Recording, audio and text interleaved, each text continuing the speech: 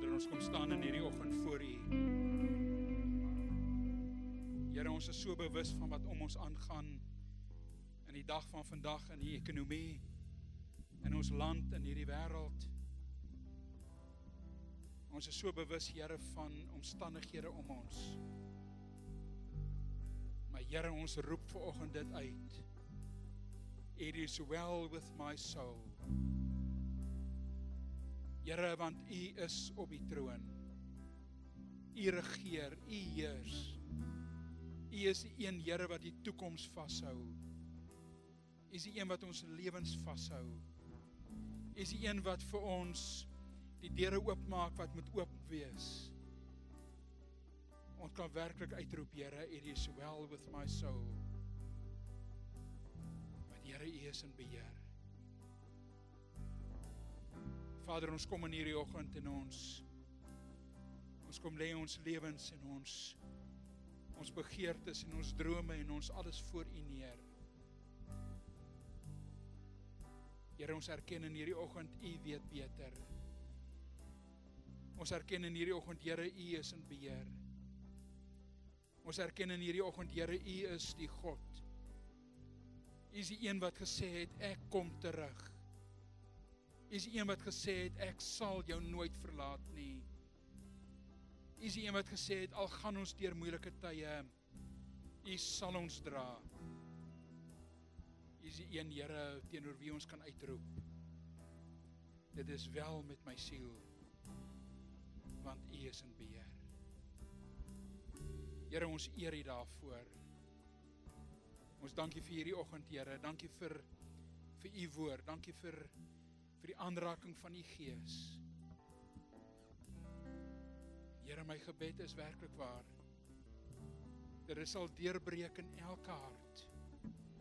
U is in beheer. Want U is wie U is. U kan nie verander nie. Ons eer U daarvoor in Jesus naam. Here in dieselfde asem bid ons vir hulle wat in die gemeentes wat om ons en in hierdie hierdie land oor die breedte en lengte vanoggend bymekaar is om U woord te verkondig.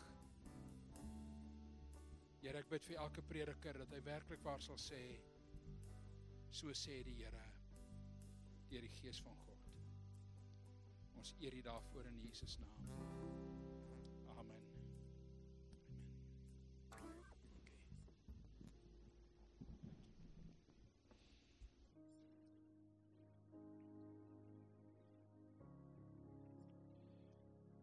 Sal twee pastore oor een mic beklei.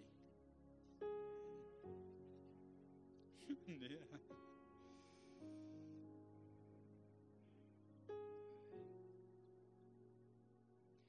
Vandag vier ons die uitstorting van die Heilige Gees. Die dag waar die waar die kerk bymekaar was of waar die kerk begin het. Die dag waar 120 mans en vrouens bymekaar was in die bofortrek. En vanoggend toe ons saam bid toe toe kom hierdie gedagte net by my op. Ek wonder wat se wat se vrae was daar tussen hulle. Ek wonder wat se vrees was daar tussen hulle. Ek dink hulle het onder mekaar gevra wat gaan volgende gebeur. Uh Jesus het gesê hy gaan sterf. Toe word hy gekruisig en toe staan hy op. En toe sy vir 40 dae saam met ons. Wat hy tussen ons beweeg het en wat hy tussen ons gekuier het.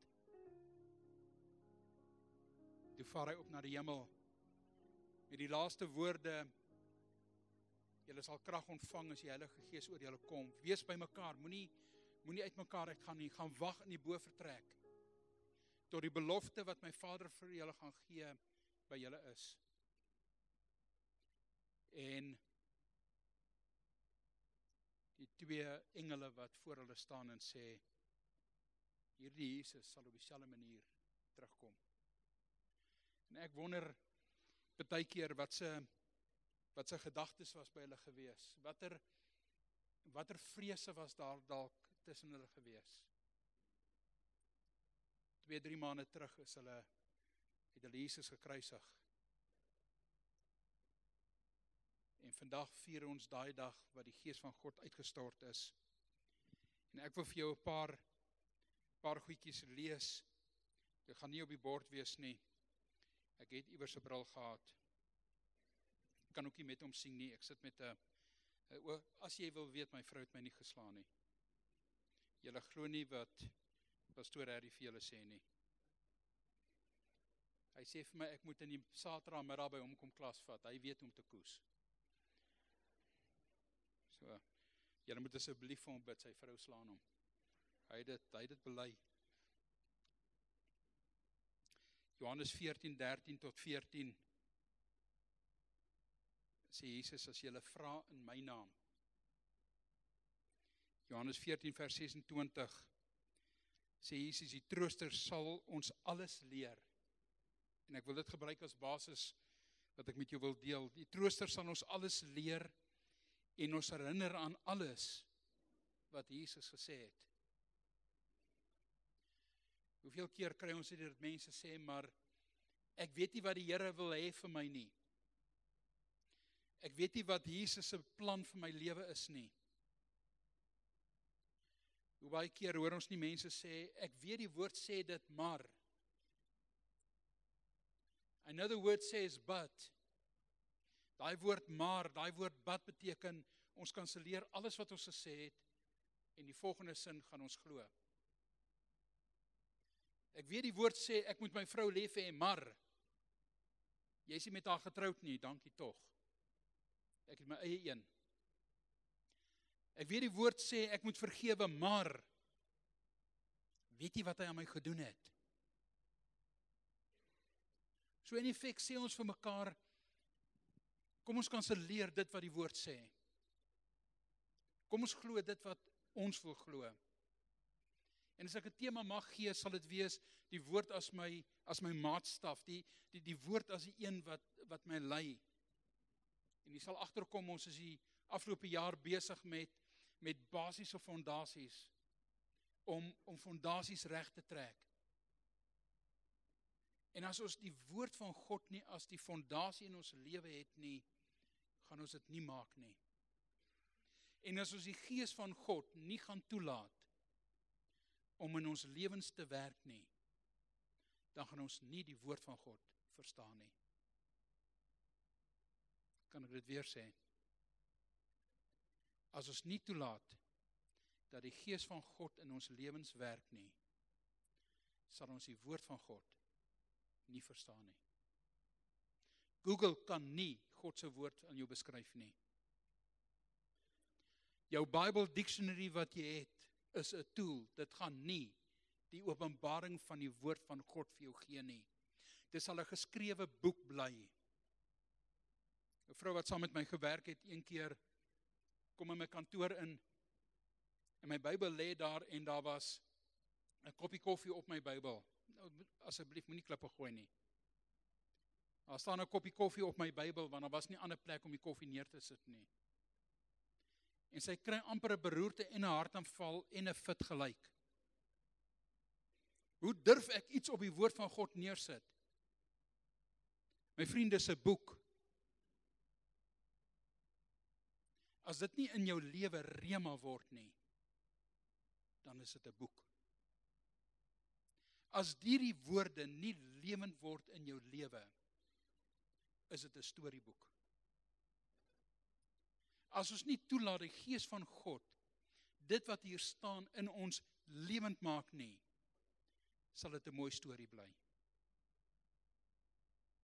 En as jy nie verstaan wat hier is nie, moet jy die gees van God vra om dit te openbaar aan jou. Want dis wat hy hier skryf. Hy sê die trooster sal ons alles leer en ons herinner aan alles wat Jesus gesê het. Wie van julle weet hierdie is die woorde van Jesus? Dis dalk deur deur mense vasgepen, maar die skrif sê die skrif is geïnspireer deur die gees van God.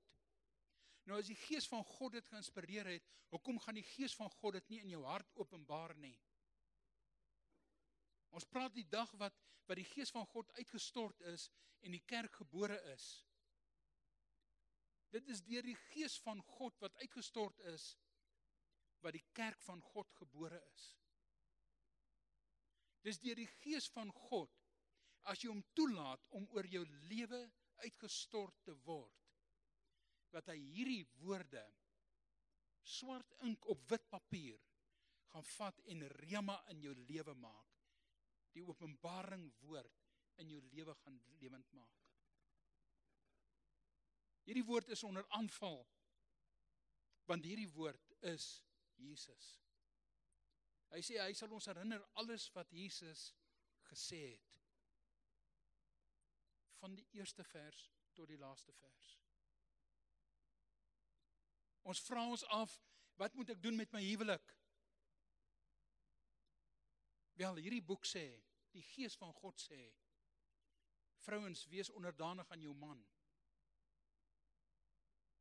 Maar dis 'n moderne era, ek mag nie hierdie woord sê. Die gees van God sê, Jesus sê, wees onderdanig aan jou man soos aan Christus. Met ander woorde, dit is liefde. Hierdie woord sê mans, wees lief vir jou vrou. Gelukkig nêrens verstaan nie. Dis nie eers in die oorspronklike teks die woord verstaan gebruik nie. Wees lief vir jou vrou. Hulle kom van Mars af. Hulle hulle verstaan nie. Vrouens druk jou ore toe asseblief. Ek wil gou met die mans praat. Het julle nou net aangesien toe die maan en Mars so bymekaar was? het hulle almal oorgeklim op die maan. Hulle is op pad. Jy gaan hom nooit verstaan, ek bedoel hom nooit verstaan nie. Maar die woord sê wees lief haar soos Christus die kerk liefhet. Ek dink baie keer verstaan die Here ons ook nie. Hierdie woord sê of jy vra vir my wat moet ek doen met my besigheid? Ek gesels die week met 'n man en hy sê vir my I said to the Lord the other day, it's time that he that he starts producing now. Ek sê vir hom regtig? Wat moet God produce? Hy het alles aan die kruis klaar geproduce. Hoe durf ons vir die Here sê, Here, jy moet nou jy jy moet nou begine react op hierdie woord. Die Bybel sê submit your ways to the Lord and then he will make you prosperous in everything you do. Dis wat die woord sê. Jy sê vir my ek het 'n rebelse kind. Ek verstaan nie hierdie tiener nie. Hierdie woord sê moenie die tigtiging terughou nie. Ja, maar die regering, hierdie woord sê vergeet van die regering. Hierdie woord sê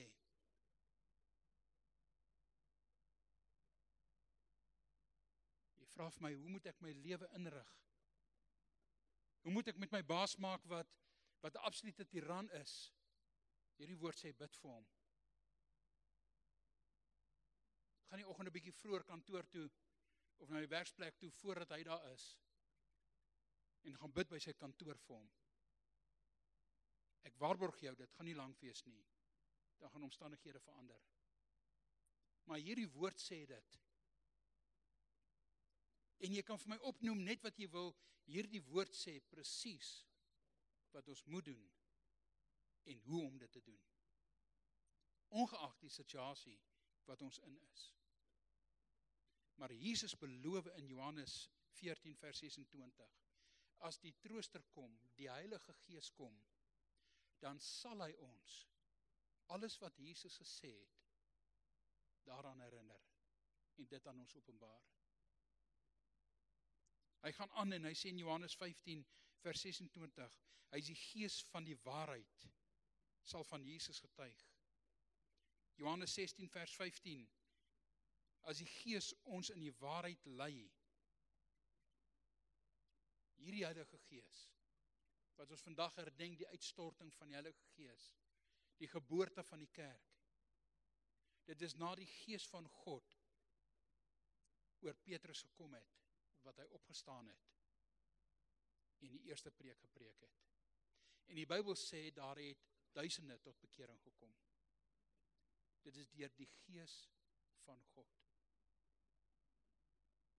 Almal van ons wat een of ander beroep het of in elke beroep deesdae as jy as jy iets studeer dan dan moet jy prakties doen. Daar's niemand wat vir jou so goed leer as as hy wat jou wat jou prakties vat en vir jou wys. Dink maar aan 'n ma wat haar dogter leer kos maak. Dink aan 'n pa wat sy sy seun leer boer. Dink aan die dokter wat wat prakties moet oefen om die regte sny te sny. Dink maar aan die blokman Adrian wat moet reg sny. Nie soos die dokter nie. Die gees van God is die een wat dit vir ons prakties doen. Die gees van God is die een wat in jou lewe inkom en vir jou sê dit is hoe jy hierdie situasie moet hanteer. My vriend, nou hoe kom ons by die punt wat ons sê die gees van God is nie nodig in ons lewens nie? Hoe kom ons by die punt wat ons die belangrikste persoon in die drie eenheid die minste kans gee om te werk in ons lewens. Ek wil jou vandag challenge met hierdie woorde. Gee die Heilige Gees kans in jou lewe om jou lewe te verander. Gee die Heilige Gees kans in jou lewe om 'n verandering te bring op die terrein wat jy verandering soek. Gee die Heilige Gees kans om in jou slaap vir jou te bedien gee die Heilige Gees kans om om deur mense jou te bedien. Gee die Heilige Gees kans om deur die woord jou te bedien.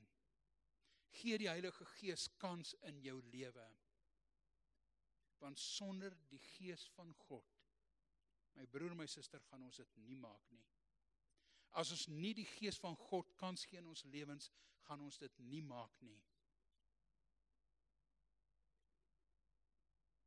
as ons nie die gees van God kans gee nie dan gaan ons in sirkels bly rondhardloop as ons nie die gees van God kans gee nie dan gaan ons bly foute maak dis tyd dat ons die gees van God in ons lewens toelaat om inspraak in ons lewens te hê om 'n vernuwing in ons lewens toe te laat soos nog nooit vantevore nie Daar's moeilike tye op pad. Ek sê dit hoeveel keer. Ek sê dit oor en oor. Daar's moeilike tye op pad. Besef ons, ons is deur die genade van God vandag bymekaar. Besef ons dis net genade en genade alleen wat ons vandag bymekaar het.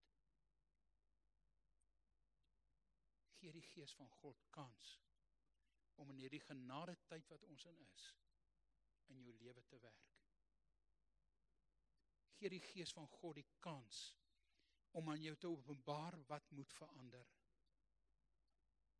Gee die gees van God kans in jou lewe vandag om jou te openbaar waar jy moet gaan en wat jy moet doen. En ja, ek gaan vir jou na hierdie diens vra om om om te bly as jy gebed soek maar gee die gees van God vandag kans in jou lewe om 'n vernuwing te begin in jou lewe. Gee die gees van God kans in jou lewe vandag om die verskil te maak in jou lewe wat jou huwelik gaan red. Wat jou finansies gaan red, wat jou besigheid gaan red. Wat jou kinders gaan red. Wat jou werksomstandighede gaan verander. Die gees van God is nie 'n magic trick nie. Hy's die God wat wat in ons bly, deur ons werk, in ons werk tot eer van die Here. Gee hom vandag 'n kans in jou lewe. Dit wat ek tot nou gesê het, is nie op my notas nie. Ek het vanoggend twee wakker geword met hierdie woord. Gee die God gee die gees van God vandag kans in jou lewe. Dink net aan die kragtige beweging daai oggend toe die gees van God uitgestort is op 120 mense. En die Bybel sê hulle het in tale begin praat en Petrus het opgestaan. Hy het die evangelie verkondig, verduidelik en die kerk is gebore. As die gees van God kan beweeg om die kerk tot stand te bring. Die kragtigste liggaam op aarde wat nie gestop kan word nie. Hoeveel te meer kan die gees van God in jou lewe en in my lewe doen? En ek praat met myself eerste. As dieselfde gees wat Jesus uit die dood uit opgewek het in ons sterflike liggame aktief is, dink net wat kan hy doen? As die gees van God wat deur ons werk 'n verandering kon bring in die lewens van mense soos Paulus, dink wat hy kan wat hy kan doen in jou en in my lewe. Israel kom en hulle sê vir die Here ons soek 'n koning. Ons wil ook 'n koning hê wat oor ons heers soos die heidense nasies. En die Here waarsku hulle, maar hulle bly aanhou ons soek 'n koning om te heers oor ons. En die Here kies 'n man met die naam van Saul om die eerste koning van Israel te wees. En die Bybel sê hy staan kop en skouers langer en groter as al die mans in Israel. Hy is die kragtigste soldaat in Israel.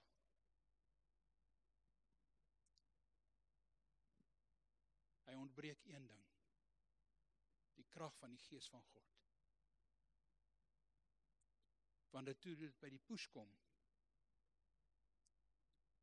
sê die Bybel hulle het hom tussen die bagasie gekry toe hulle hom soek.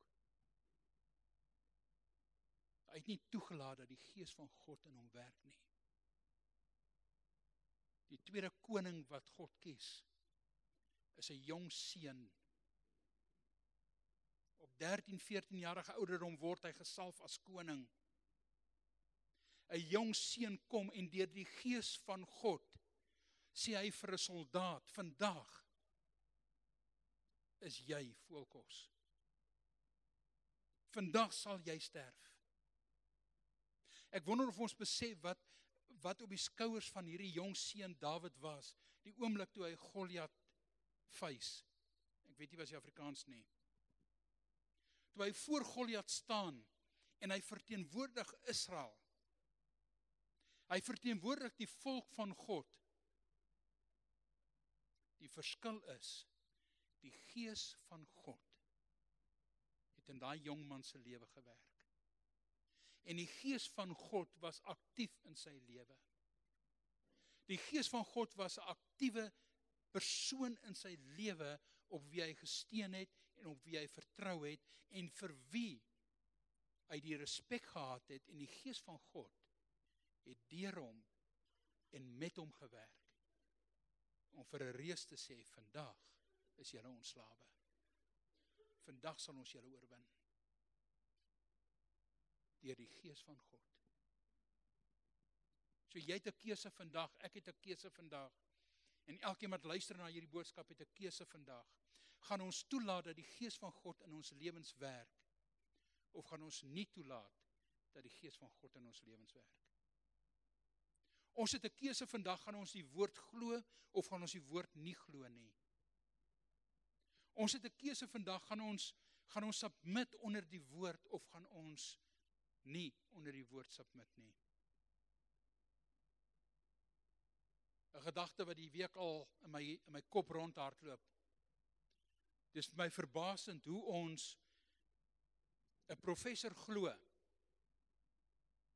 as hy praat oor die Bybel. Of 'n dokter glo as hy praat oor die Bybel. Maar hy erken hy is nie 'n Christen nie.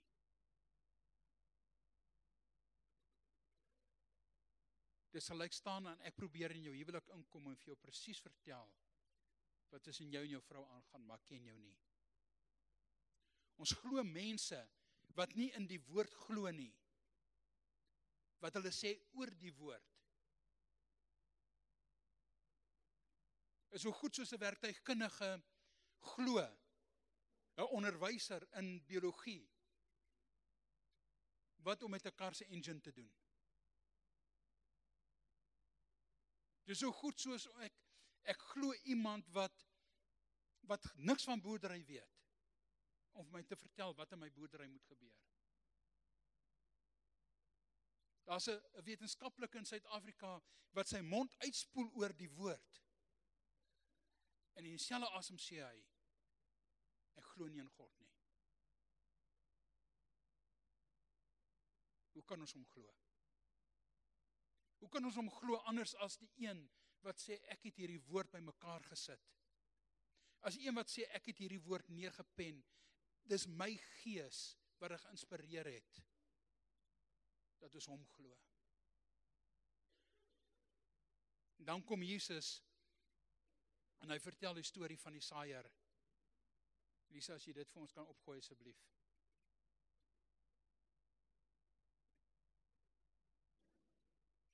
Hy sê in in Lukas 8 van vers 14 tot 15 uit verskillende dorpe het aanhoudend mense na Jesus gestroom. En toe 'n groot menigte saamgekom het, het hy vir hulle gelykenis vertel. 'n Saaier het uitgegaan om die saad te saai. Met die saai het 'n deel op die pad geval. Dit is vertrap en die voëls het dit opgepik. 'n Ander deel het op klipbank geval en nadat dit opgekom het, het dit verdroog omdat dit geen vogtigheid gehad het nie. Nog 'n ander deel het tussen die onkruid geval. Onkruid het daarmee saam gegroei en dit laat verstik. Daar was ook 'n deel wat in die goeie grond geval het. Dit het opgekom en 'n honderdvoudige oes gelewer. Vir ons aangaan wil ek vir jou vandag vra wat is jou begeerte in jou hart? Wat is een van daai vier situasies soek jy in jou lewe? Wat is een van daai vier situasies is is jou begeerte op hierdie oomblik? Het jy begeerte dat die woord wat jy hoor, die woord wat jy lees, die woord wat jy ervaar op die grond val en voel deur voels opgepik word en vernietig word? Het jy begeerte dat 'n gedeelte val op die grond en en niks vogtigheid het nie en glad nie opkom nie? Het jy begeerte dat 'n gedeelte val en begin groei? Maar as die sorges van die lewe kom, dis wat die woord sê wat Jesus vir hulle verduidelik, die hierdie hierdie belofte by jou steel. Of het jy begeerte dat dat hierdie saad op goeie grond val en vrug lewer? Hierdie gedeelte in in in Lukas praat van 100voudig. 'n Ander gedeelte praat van 30, 60, 100voudig. Dit gaan nie oor die hoeveelheid vrug nie, dit gaan oor die vrug. Wil jy vrug dra? Wil jy dat die woord in jou lewend is?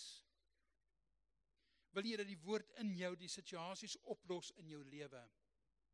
Sê ek dis 'n magic trick? Nee sê ek as ons hier uitstap is ons probleme op einde nee. Sê ek dat ewe skielik gaan alles reg wees? Nee. Maar ek sê vir jou die een wat sê ek gee my gees en my gees sal alles wat ek geleer het. Alles wat in hierdie woord staan, sal my gees aan jou openbaar en in jou lewend maak. Dit beloof ek jou. Sien die duiwel gee nie omdat jy die woord hoor nie. Die duiwel gee nie om dat die woord gesaai word nie.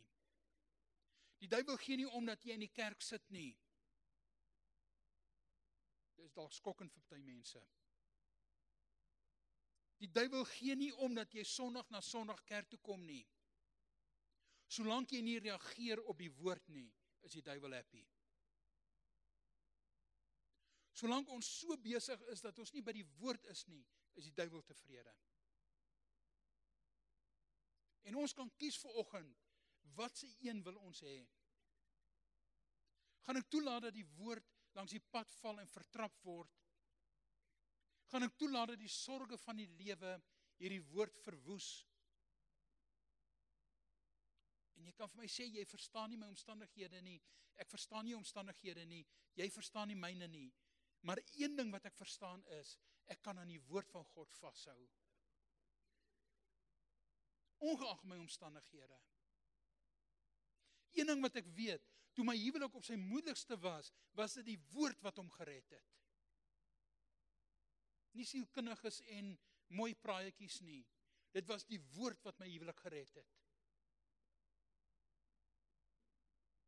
Toe my finansies die moeilikste was, het die Here vir my in in Spreuke gesê. Spreuke 3 van vers 5 aan. Commit your ways to the Lord. Toe die Here vir my gesê, gee oor aan my.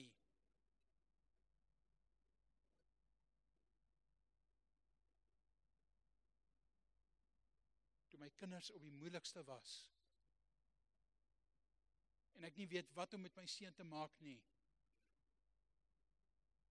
Toe is dit die woord wat hom losmaak. Die woord wat sê in die naam van Jesus toe my jongste seun dood is tot die siek is tot die dood toe. Toe sê die woord wat my sê, kry die ouderlinge bymekaar dat hulle vir hom bid, dat hulle hom salf met olie. En ek het hom as 'n halfdooie kind daai Saterdagoggend in die kerk ingedra waar die ouderlinge bymekaar was, hulle het vir hom gebid en hy is nog steeds stout daarna. Hy hardloop nog steeds soos 'n afkophoender rond. Maar dis die woord wat gesê het, gaan doen dit. Maar Jan, jy verstaan nie, toe toe die laaste disipel gesterf het, het die wonderwerke ook gesterf. Sê wie? Dis 'n leuen uit die put van die hel uit wat van kansels af verkondig word. Dieselfde God wat in Abraham geleef het, is dieselfde God wat in in Josua geleef het, dieselfde God wat in Petrus geleef het, is dieselfde God wat in jou en in my leef. Dis dieselfde gees wat werk. Maar ons het vanoggend 'n keuse. Jesus vertel hierdie storie en hy, hy hy sit die vier keuses voor ons neer. Watter een gaan jy glo in hierdie dag? Hoe steel hy die woord deur die sorges van die lewe? The pride of life. The beauty of the eye geldgierigheid. Dis hoe hy die woord steel. Gaan lees dit daar. Lukas Lukas 8. Wat het hy met Eva gedoen? Hy het vir Eva gesê, "Het die Here regtig gesê?"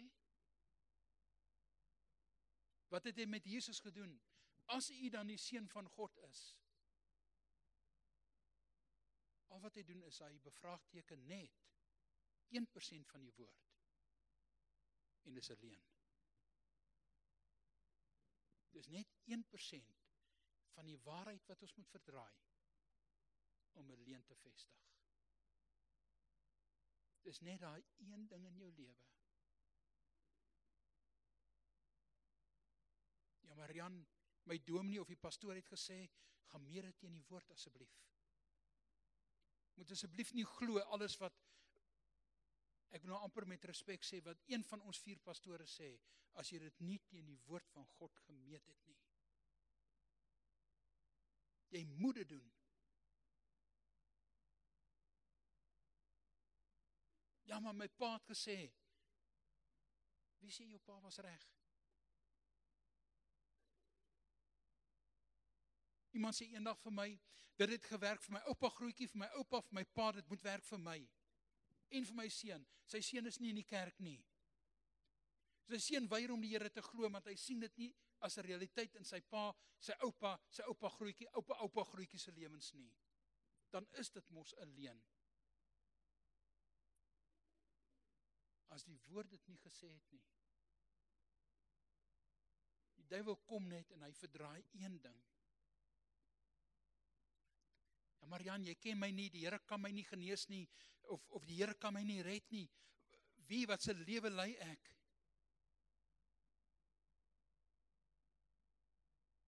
Die Bybelskool studente Daar's 'n vrou in die Bybel. Sy word 'n prostituut genoem. 'n Hoer. En sy's opgeteken in die stamregister van Jesus. Omdat sy bereid was om God aan sy woord te vat, aan sy belofte te vat. En toe Jerigo se mure val, toe sy gered. As 'n man wat bereid was om om die Here aan sy woord te vat, Abraham. Toe hy eens Lot staan en hulle besef hulle hulle hulle gesamentlik is te groot vir die area waar hulle bly. Kies Lot die mooi gedeelte. En Abraham trek verder in die woestyn in. In die dor landskap in. Want hy het op die woord van God gestaan wat gesê het: "Vat jou vrou en jou kinders en trek." amper sê ek vir Here.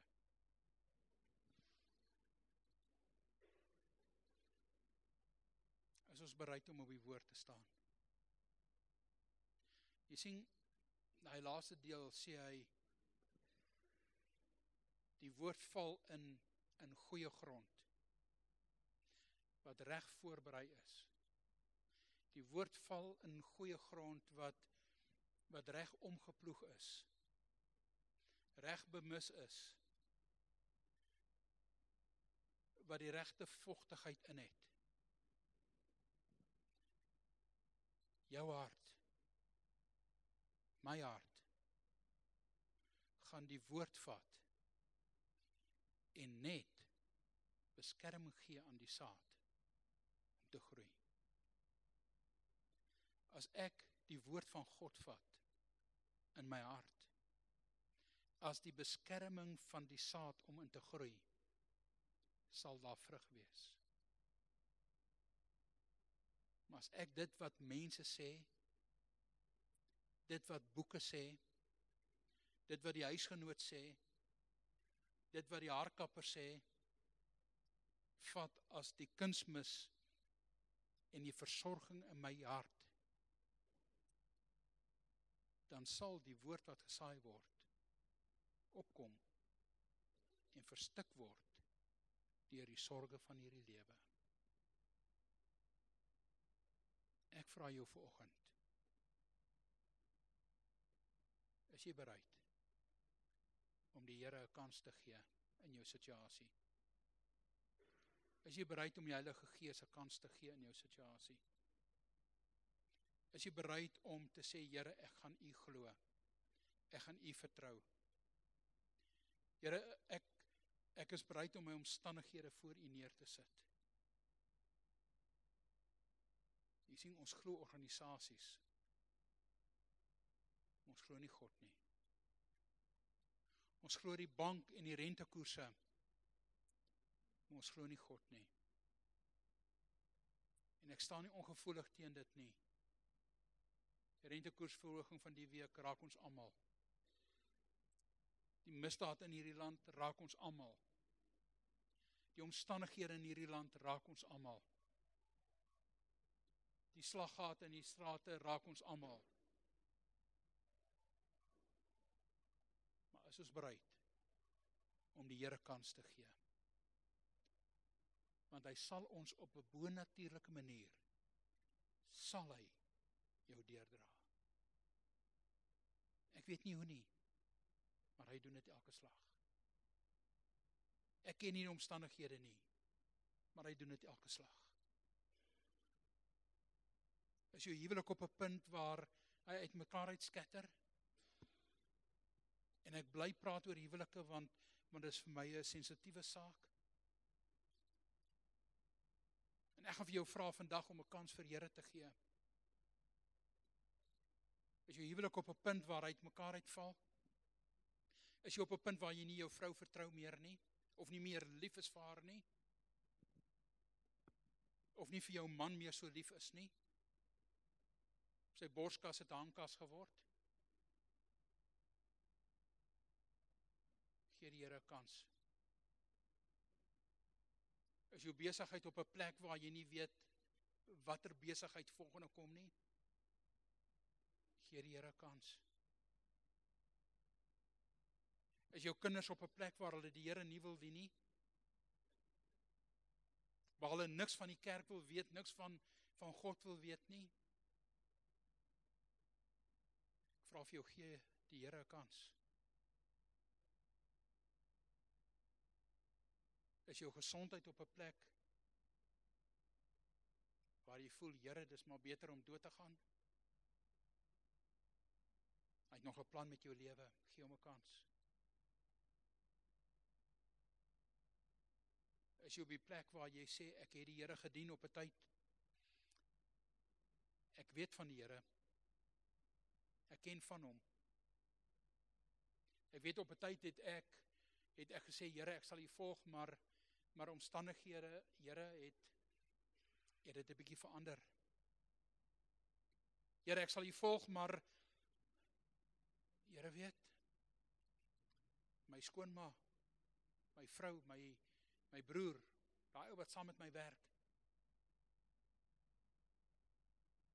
Sukkel jy om iemand te vergewe vandag? Iemand wat jou bluntly ingeloop het? Iemand wat met opset opgetree het om jou skade te berokken?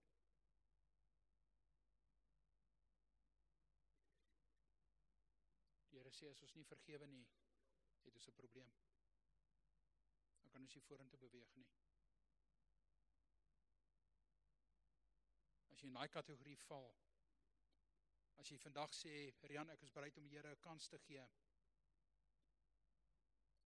Lisa, dankie vir al jou moeite met daai slides, jammer. As jy vandag by die punt is wat jy sê Here, ek sal U 'n kans gee in my lewe. Ongeag die omstandighede. As jy net vandag sê Here, ek sal vir U 'n kans gee. Maar daar's soveel getuienisse as ek so na U kyk. Mense wat wat nie werk gehad het nie wat die Here 'n kans gegee het wat vandag gewerk het. Mense wie se huwelik uitmekaar uitgeval het wat gesê het ek sal die Here 'n kans gee. mense wat se besighede geroond was. Here, ek sal u 'n kans gee. Mense wat nie geweet het wat se stap om volgende te vat nie. Here, ek sal u 'n kans gee. As jy vandag die Here bereid is om die Here 'n kans te gee. Wil nie saam met my staan nie want ek moet die Here 'n kans gee in my lewe. Ons kan nie 'n dag deurgaan sonder om die Here 'n kans te gee nie. Wil jy nie saam met my staan as jy sê Here, ek gee U 'n kans terwyl die musiekspan vorentoe kom. Jy moet asseblief nie staan omdat iemand anders staan nie. Moet asseblief nie staan omdat jou vrou jou nie sy gestamp het nie.